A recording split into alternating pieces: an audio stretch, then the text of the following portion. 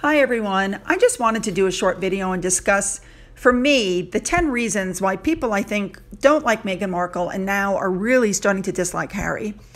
Now, of course, the sugars, as they're known, tend to harass anyone that points out these obvious points. Then they accuse people of stalking, they call them racist, and then they become even more abusive, if that's even possible. But the truth is really simple. So here we go.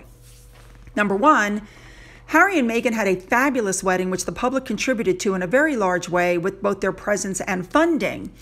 But before the wedding, they were offered to pass on the titles so she could continue to work. And she said no, that she wanted the titles. And I believe she took the titles because she always planned on leaving the UK the entire time.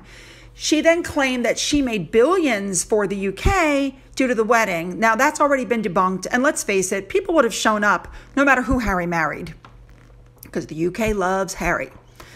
Number two, she stated she gave up her entire life for the royal family, but she was only in it for two years. And in those two years, she only worked 70 some odd days. Before that, she lived in a rental home in Canada, and she was on a Canadian show that most people in the United States have never even heard of. Number three, she called to thank one of her very ardent supporters, who happens to be one of the people who has been insulting Kate, the Queen, and the entire royal family on a regular basis. There is no way with the amount of vetting that these two do of who they associate with, that they didn't know who this was. But let's just play devil's advocate and say that they didn't know. But when they found out, why didn't Meghan issue a statement that condemned her actions towards her in laws? Number four, they said they wanted a private life and then they jumped on the COVID bandwagon. Then it was the Black Lives Movement bandwagon. Now it's the election bandwagon. It's pretty obvious they never wanted a private life. They were in for money, which ties back to the titles, because no one would hire just Harry and his wife.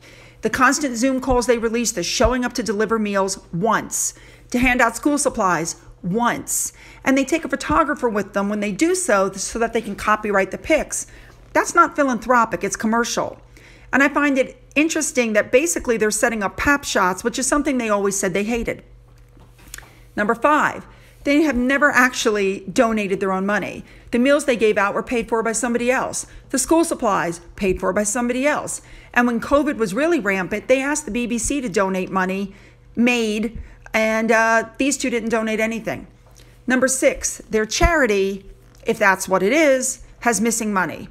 I think when the accounts are gone through, and they're going to be, they're going to find inconsistencies and problems. And I wonder if people who donate realize you only have to give 5% of the money to charity, and the rest they can use for expenses like private jets, which I find unbelievable as they keep touting on about the carbon footprint.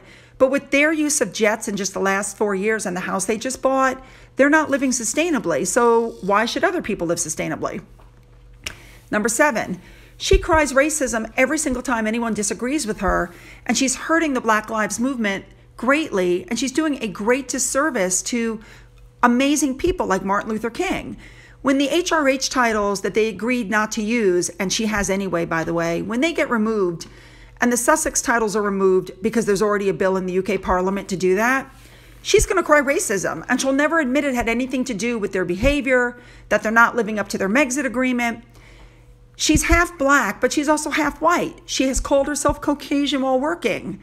She has married three Caucasian men, and she now lives in a community that's 98% white for her own safety. Number eight, I believe the palace did a great job of covering for Harry and his crappy behavior in the past. Like when he dressed as a Nazi or he called his co army buddies ragheads, they sent him to what I believe they called racial discrimination training, but then he said that he really didn't get racism until he married Meghan. It's like when he says he has PTSD from the cameras, but it disappears when the cameras are there for him to make money. It shows that he's really very shallow and he's using his white privilege to make money.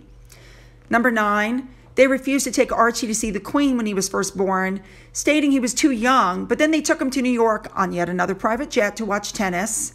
And they did not bring him along when they returned to the UK for their last events citing COVID. But then they took another private jet to California, which at the time had the highest numbers of COVID in the United States. And I believe Archie's being used as a pawn at this point, and that's why the Queen has not seen him since he was born. And finally, number 10, the Netflix deal. This is upsetting on so many levels.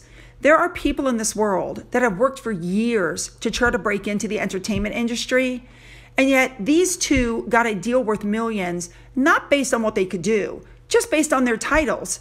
Because let's face it, if Meghan had gone to them before she married Harry, she would have been laughed out of the building. Netflix could have donated some of that money to charity and to help the homeless. And I personally canceled my subscription. And when I stated that fact on Twitter, one of the sugars read it and said that nobody would care that I canceled. But now Netflix stock is falling dramatically and they've taken a big hit. And so I believe that people really do care. And it also has something to do with the cuties controversy, which I find that to be nothing more than child porn.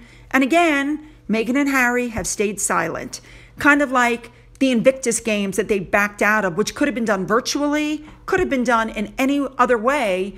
But instead, as it turns out, it was because it was going to be on a rival streaming setup. So these are just 10 instances of things that they've done that I believe are making them actually two of the most hated people in the world. Have a nice day.